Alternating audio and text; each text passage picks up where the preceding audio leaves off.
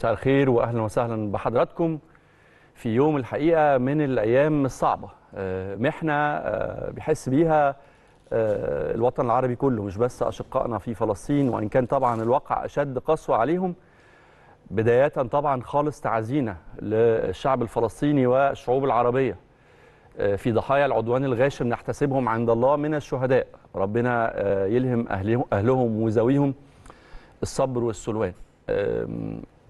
أعتقد إنه المشاعر ال- غالبية آه، واحد طبعا الأمة العربية اتنين كل ما من يتمتع بأقل قدر من الإنسانية آه، بيحس بيها هي مزيج من الألم والوجع والأسى والغضب.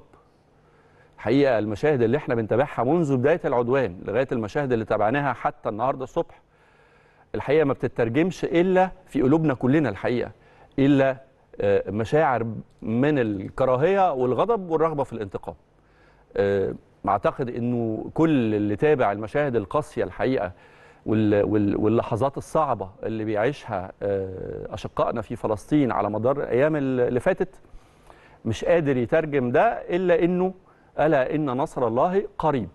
حقيقة يمكن يعني آه، على الرغم من إن جوه الواحد حالة غضب شديدة جدا لكن في نفس الوقت بشوف إنه في جزء إيجابي. نمرة واحد اللي قرأ واللي سمع غير اللي شاف. ناس كتيرة جدا قرت عن أو أجيال جديدة قرت عن مذابح الكيان الصهيوني سمعت ممكن عن بحر البار سمعت ممكن عن مذابح قانا سمعت ممكن عن صبرا وشتيلة لكن ما شافتش. في الأيام اللي فاتت دي شافت.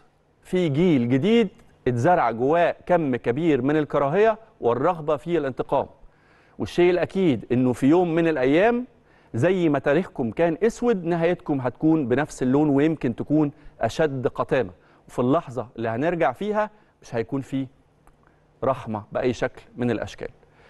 الحقيقة أنا يعني أنا ماليش في ال social media وزمايلي كلهم عارفين إنه أنا ما بتعاملش تقريبا مع السوشيال ميديا ما بحبهاش. كيميتي مش ماشية معاها. لكن الحقيقة في ناس كتيرة جدا تجاوبت. وإن كنت بشوف إنه فكرة التعاطف والتأييد على منصات التواصل الاجتماعي ممكن ممكن تكون موصلة الصوت. ودي واحدة من الحاجات الحقيقة اللي لفتت نظري. إنه يعني إنه ردود الأفعال على مستوى الشعبي على مستوى الجمهور في العالم كله شايف الوضع على حقيقته سيبك من ردود أفعال الحكومات رغم إن الأزمات بتكون كاشفة وبتوضح بشكل كبير جدا لا يقبل الشك ولا يقبل التأويل مين معاك ومين ضدك. لكن إنه يكون على مستوى الشعبي على مستوى الجماهيري وعلى مستوى بعض السياسيين وعلى مستوى بعض رموز الدول ورؤسائها كمان الوضع واضح بالشكل ده مين الجاني ومين المجني عليه؟ بيتهيألي دي واحدة من النقاط اللي لابد إن إحنا ناخدها في الاعتبار ونبني عليها. النقطة الثانية والأكيدة وإحنا بنتكلم على ردود الأفعال صحيح بنستنى من دولنا ومن رؤسائنا ومن زعمائنا ومن حكوماتنا ردود أفعال لكن أنا في ظني وفي تقديري المتواضع رد الفعل يبدأ من كل واحد فينا. الواقع اللي محتاجين كلنا نغيره مش بس في السياسة لكن على كل المستويات. واقعنا اللي إحنا بنعيشه يحتاج مراجعة حسابات يحتاج تحديد أولويات يحتاج تصحيح مسارات. وهنا بس ممكن نتكلم على رد الفعل اللي يليق بأمة عربية تاريخها ضارب في الجذور. أصل الحضارة جزء من تكوين الحضارة والتقدم اللي وصلت ليه البشرية كلها النهاردة كان أصله في البداية عربي. لو قدرنا نستعيد جزء من ده ممكن جدا نكون نملك